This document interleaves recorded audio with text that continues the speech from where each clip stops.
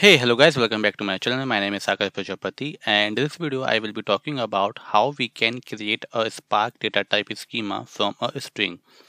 Okay, so Spark or we can say PySpark have one method that is called underscore parse underscore data type underscore string. So with the help of this function we can create a a struct type or we can say spark data type schema from a list or we can say from a string okay so let's get started so let me copy this function and let me go to my community edition cool. So for an example uh, uh, for an example uh, we have you know we have one uh, one student file not let's say we have one data. So let me prepare one data first and here I'll I'll add here the uh, one comma my name Sagar and let me put age. My age is 25 years old not 25 26 and then let me put one more column or we can say one more data. That is uh, uh, uh, let's say 70 okay which is the marks. And let me just keep this in one bracket. So this is this is the one row okay. Likewise I can create multiple rows. So let me create another row. And here let me give a name Alex and the age will be like uh, uh, 30 cool. And the marks will be like 80.00 cool. Now if I want to create a schema uh, sorry not a schema. If I want to create a data type then uh, uh, what would I do? Is that I'll just write here spark dot create data frame and first parameter will be uh, data and second parameter will be a schema. Okay so my I haven't prepared a schema uh, yet. So just let me let me uh, you know uh, run this command and let's see what will happen. See it is saying that cannot merge type and. Okay. Field 4 is not mapped mm. cool now if you can see here that you know the first column uh, name is underscore 1 then underscore 2 underscore 3 and underscore 4 and but you can also see that you know the data type is long is string long double. But I want to keep my first data type as an integer. Okay second will be a string format third will be an integer again and fourth will be in double or we can say float format. Okay. So in order to that what I can do what I have to do is that I have to uh, prepare a schema. So I'll just write down here schema is equal to uh, what? Schema is equal to id that is that is an integer format. So int comma what else I can write? I can write here uh, name that is in string format comma age that will be in uh, integer format right and the last one is marks that will be in a float format. So let me write here float. Cool.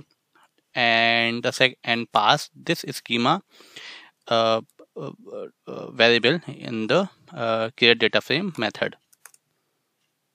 Now you can see this looks perfect. Right.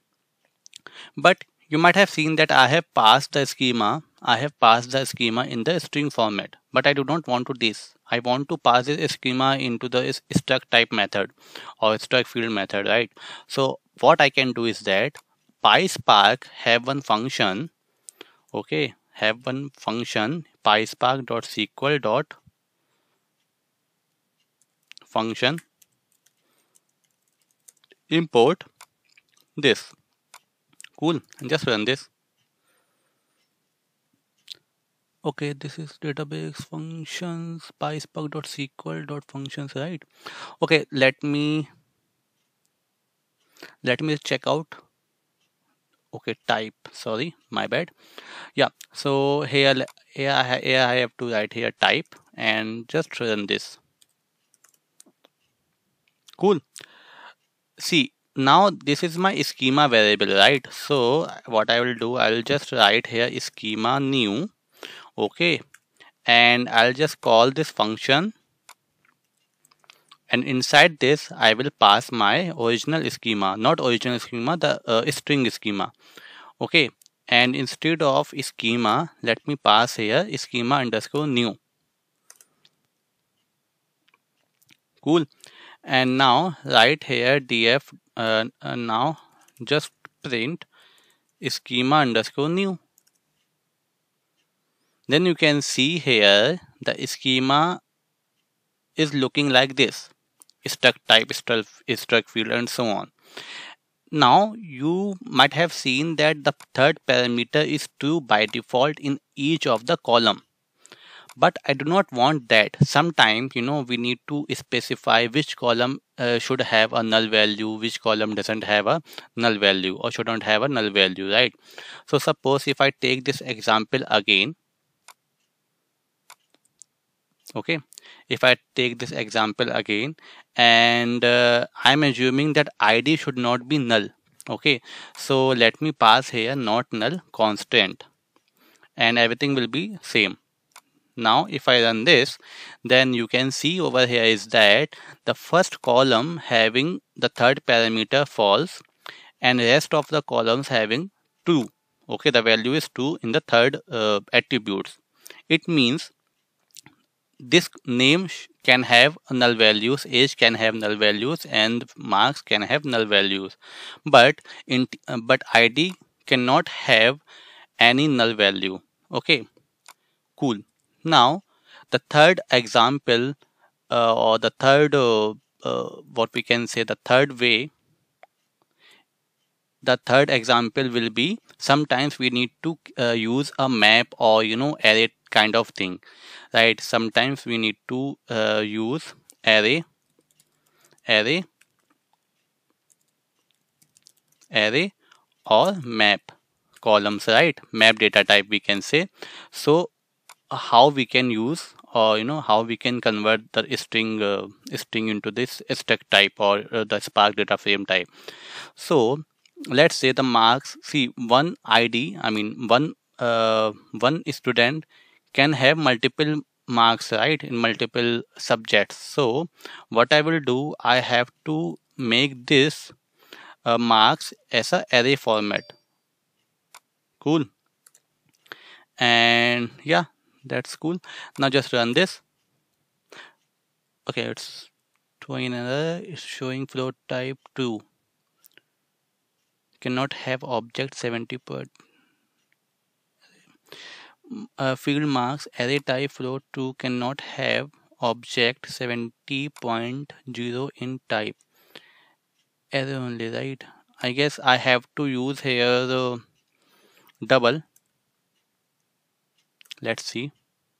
Okay it's also throwing array no let me just use here float and it is saying that uh, array double type 2 cannot have a object 0 in type.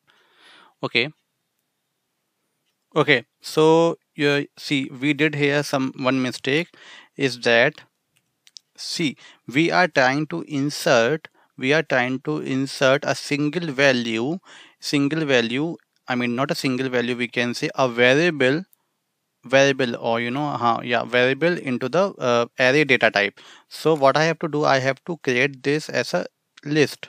Okay so let me just uh, use here bracket. Cool and now once I run this then you can see here the last column marks having array type.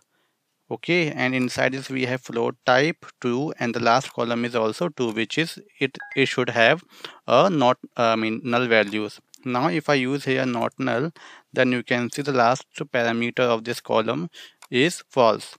Okay so uh, see what I have done. I have uh, I have uh, I have written a blog on this okay the same topic i have chosen and you can see uh, step by step i have uh, I, I have used the concept here also. Okay you can see like you can use not null constant also in the schema. You can also convert complex data types like array or map and so on. Okay so this is my website. Okay i have created and i used to write here some blogs a tech blogs basically on data Databricks data uh, data data structures so python sql and so on. So if you if you're liking my content please subscribe to my channel and please please subscribe to my newsletter okay? So that you will get our latest uh, blog or article whenever i publish a new article okay?